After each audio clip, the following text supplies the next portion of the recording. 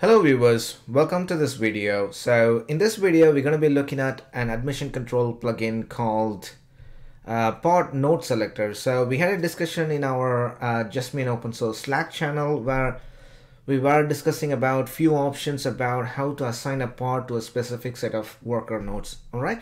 So I've got a nodes here. Um, where is it?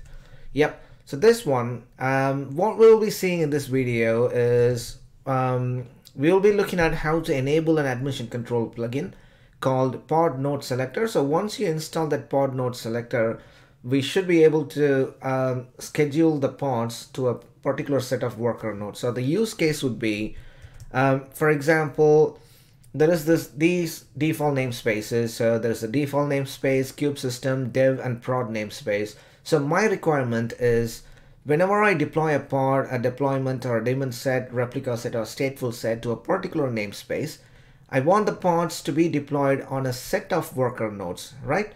So here, for example, if I deploy anything to the dev namespace, um, it has to be deployed only on these uh, set of specific set of worker nodes and these specific set of worker nodes for another namespace. So we're just separating out different namespaces. For example, this one is dev, this one is prod, and we've got like set of worker nodes which are high performance worker nodes and these one are not so high performance. They don't have much disk space or they are not on the latest cpu or something. So this is a kind of uh, grouping your worker nodes where do you want to run your workloads? Production workloads i want to run on faster machines. And dev workloads i want to run on just lower lower spec machines so the important thing here is to, you can always uh, include the node selector option in the pod spec. I've done a video on node selector. So in your pod specification, you can specify node selector and which node you want to schedule uh, your pods to. But that will be laborious work. If you've got lots and lots of pods, you will go ahead and change uh, the pod specification on each of the pods. So by using this pod node selector admission control plugin, you can just do that in one uh, one space, which is the uh, the namespace. So you just edit the namespace, you set the namespace so that any pod that gets deployed to a particular namespace will be scheduled to a group of uh, selected work, worker nodes. So for that to happen, we need to, as always, because we are using node selector basically, um, we have to label the worker node. So that's what we will be seeing in this video. So any pods that I'm deploying in the dev workspace, will be uh, scheduled on to worker nodes that has the label uh, env equals dev and any pods that I deploy to prod namespace will be scheduled to any worker nodes that has the label env equals prod. So we are just grouping uh, machines together. So in my Kubernetes cluster, I've only got like two worker nodes, one master node and two worker nodes. So I'm going to assign uh, dev to k worker 1 and prod to k worker 2. Let's see how it all works together. Okay, back to the terminal. I've got my Kubernetes cluster and I'm running version 1.16.3 kubectl get nodes so I've got three nodes. Uh, this is from my vagrant provisioning so you all familiar with that one if you're using my vagrant environment. So one master two worker nodes and the first thing is I'm going to label um, these two worker nodes. Kubectl label node kworker1.example.com let's say n equals prod and kubectl oh no. So let's label um, n minus. Okay so I'm just removing that label. I want to label kworker1 as the uh, test machine. So n equals sorry n equals dev and k worker 2 I'm assigning the label n equals prod. So if you've got uh, multiple uh, worker nodes you can just go ahead and um, label each of them to group those machines together. Okay so we don't have multiple machines we just got like two machines. So one is labeled dev the other one is labeled prod. Okay so the next step is to um, enable the admission control plugin. So if you used kubeadm method to provision your cluster or if you've used my vagrant environment um, we need to update the kube api server pod to enable the admission control plugin okay let's look at that one kubectl minus n kube system get pods. So I'm going to watch this pod and I'm going to log into my kmaster machine ssh root at kmaster. So in my uh, kmaster, the master uh, node, I'm going to go into cd etc kubernetes manifests. And in here I'm going to edit the kube API server.yaml vi kube API server.yaml and under the command so the command is kube API server. And I'm going to append or I'm going to edit one of the options that should say admission control. Yeah minus minus enable admission plugins. So there is one admission plugin already enabled which is node restriction. So I'm going to add pod node selector. So that's the uh, plugin name. You have to make sure you use the right case pod with uppercase p uppercase n and uppercase yes pod node selector. So once i save this file um, kubernetes automatically um, detects the change to this manifest and then it will restart our kube api server uh, pod so temporarily you will lose connection to your kubernetes cluster but that's okay but it will come back again so now because the Kube API server pod has been terminated and it's getting restarted, uh, you lost connection to the, because all your interactions to your Kubernetes cluster is through the uh, API server, the API server pod.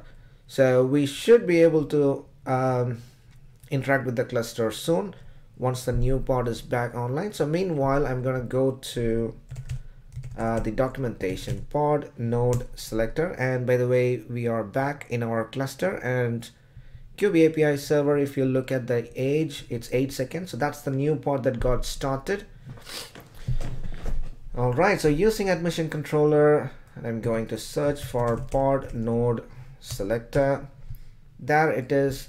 So we've labeled the worker nodes. The next thing is uh, we are going to edit our namespace and add this annotation. So let me copy that annotation copy we don't need that anymore so log out of the kmaster so now I've got I haven't created the namespaces yep kubectl create namespace dev kubectl create namespace. Prod. Kubectl create namespace. Prod. Kubectl get namespace. Okay so we've got the dev namespace and the prod namespace. Let's edit them. Kubectl edit namespace dev. I'm going to add the annotation here.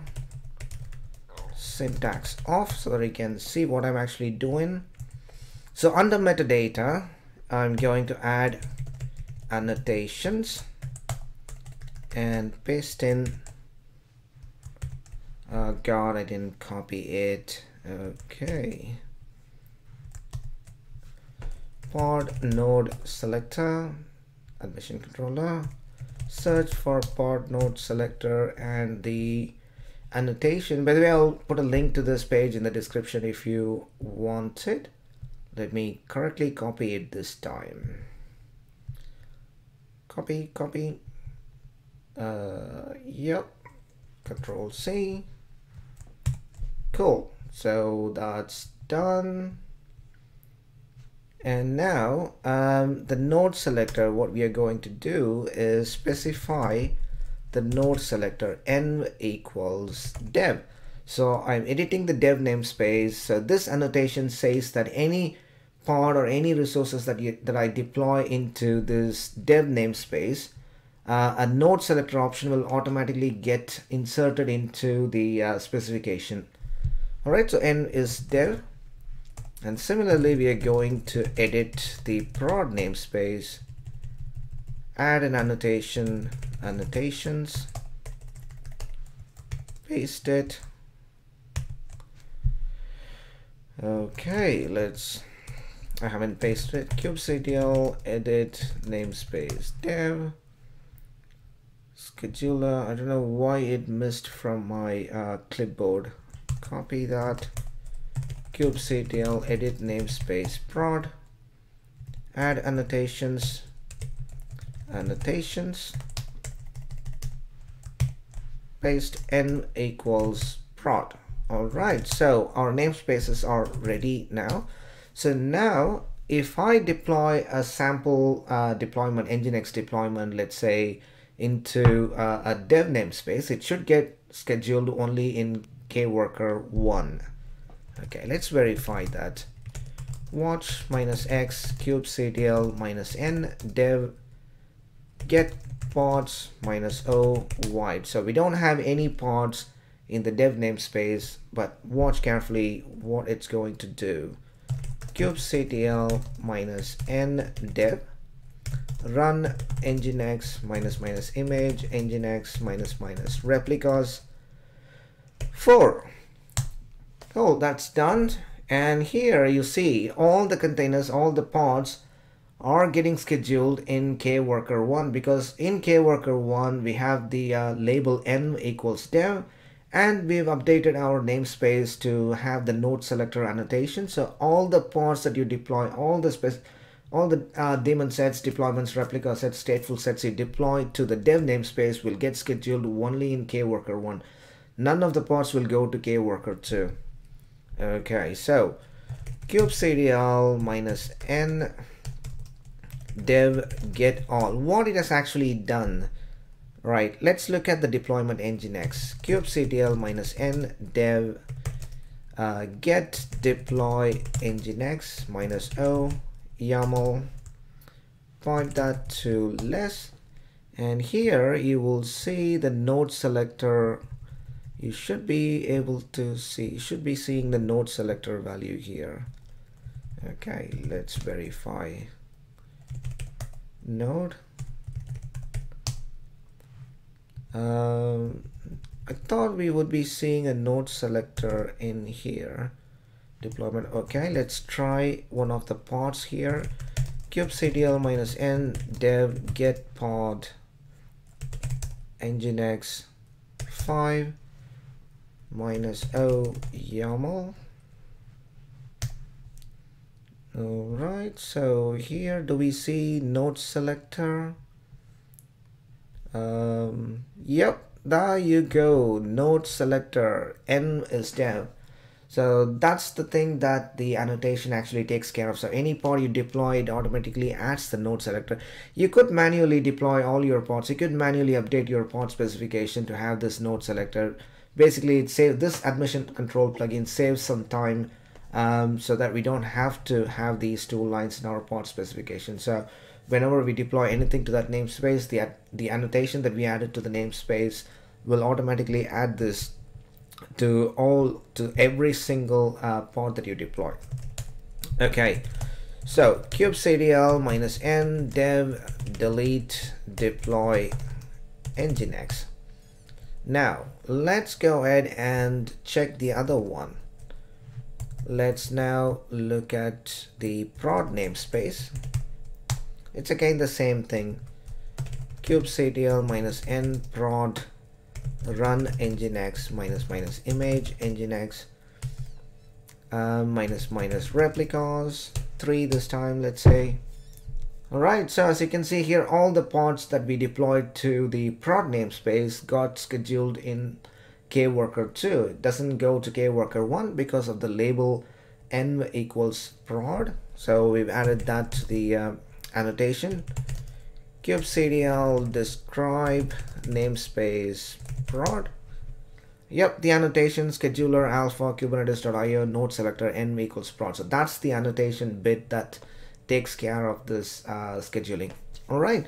So i think that's all i wanted to show you in this video. It's a quick one. Um hope you found this useful. Just follow this. It's pretty easy. And if you've got any questions or any comments or any issues just uh, let me know. I'll be able to help you. And uh, don't forget to subscribe to my channel. I've got lots of videos um, waiting to be released. And thank you so much for your time watching this video. I will see you all in my next video. Bye bye